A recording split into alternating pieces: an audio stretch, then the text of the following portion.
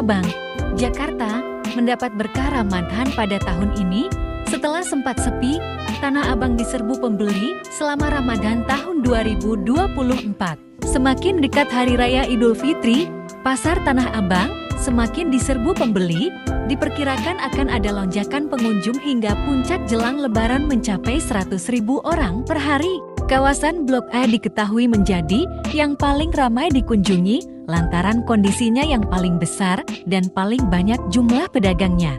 Puncak pengunjung di Pasar Tanah Abang diperkirakan akan terjadi pada tanggal 7 sampai 8 Maret tahun 2024 dengan jumlah yang datang mencapai 100 ribu orang.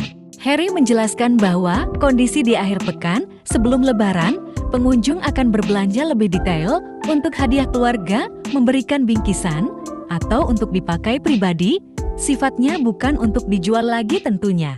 Ia juga menghimbau pengunjung untuk datang lebih awal supaya bisa mengantisipasi jam padat mulai dari pukul 11.15 WIB, serta selalu berhati-hati dalam menjaga barang belanjangan dan pembayaran. Potensi peningkatan belanja masyarakat ini memang sejalan dengan tunjangan Hari Raya THR yang dibagikan menjelang Hari Raya.